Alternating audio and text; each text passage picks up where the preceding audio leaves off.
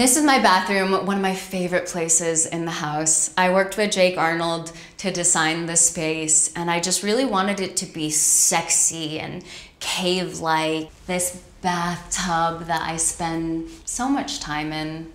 More candlesticks, as you can see. Here's the marble that matches my bedside tables. And then these are also the tiles that I had so many extra of that I used as a backsplash in my kitchen.